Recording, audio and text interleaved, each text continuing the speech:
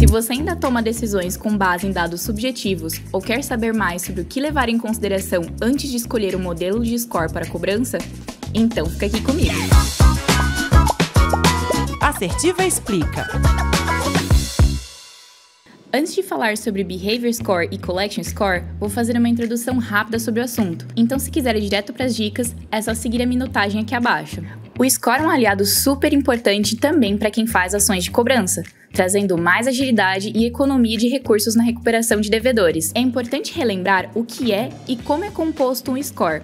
Ele nada mais é do que um conjunto de dados compilados através de modelos estatísticos sendo que os tipos de dados e a sua janela de análise vão determinar o tipo de resposta que você deseja obter sobre o seu cliente. Quer um exemplo do uso na cobrança? Imagine que você quer saber qual a probabilidade de um cliente realizar um pagamento em atraso. Neste caso, não será muito assertivo olhar para o score de informações comportamentais, que te falam muito mais sobre o perfil de pagamento do seu cliente do que sobre o devedor em si, certo? Claro, ter informações preditivas de clientes que não têm atraso pode ser muito benéfico em termos financeiros e de cobrança no futuro. É por isso que vamos falar do Behavior Score e Collection Score. Behavior Score Bem, falando sobre Behavior Score, é importante dizer que esse modelo é bastante utilizado na observação do perfil comportamental dos clientes que não possuem atrasos no pagamento. Ele é utilizado para acompanhar e dosar o seu relacionamento creditício com esses clientes.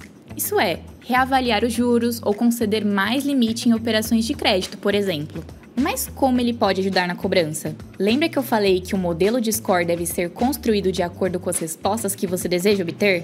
Então, você pode combinar dados e análises para identificar a probabilidade do cliente deixar de pagar sua empresa nos próximos três meses, por exemplo. Se você está gostando deste conteúdo, se inscreve no canal e deixa seu joinha para a gente saber quais tipos de conteúdo você gosta.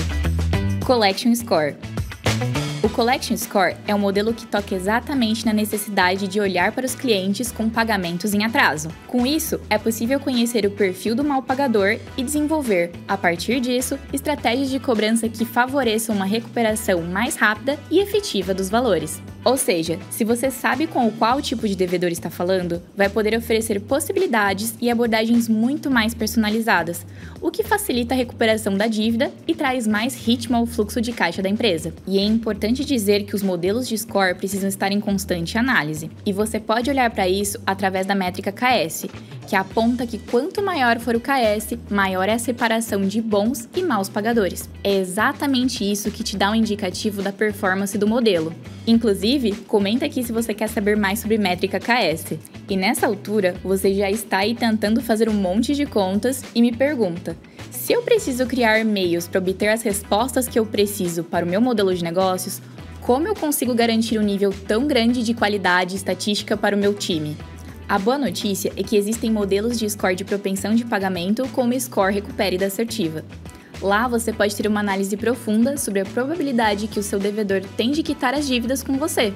Para conhecer mais sobre essa solução, acesse o link que eu vou deixar na descrição ou o QR Code aqui no vídeo. Quando a pessoa que atende diz que não é o cliente, qual a melhor forma para avaliar se essa pessoa está falando a verdade? Como saber se devo mesmo tirar o contato da base ou se devo continuar com o número?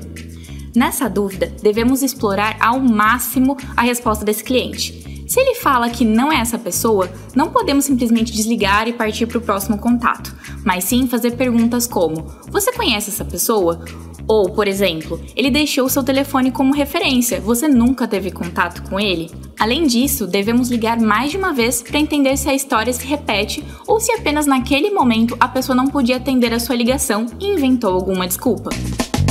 E aí, já testou o Behavior Score ou Collection Score? Então conte a sua experiência pra gente aqui nos comentários. Até a próxima!